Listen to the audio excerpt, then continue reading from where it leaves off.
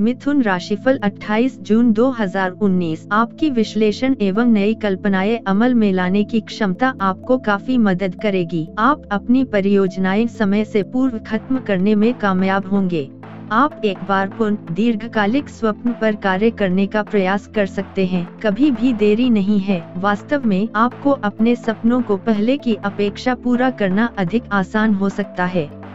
ध्यान से आपको उस तनाव और दबाव से निपटने में सहायता मिलेगी जिससे आप पीड़ित होते हैं। तनाव आपकी शारीरिक मजबूती और ताकत को समाप्त करेगा।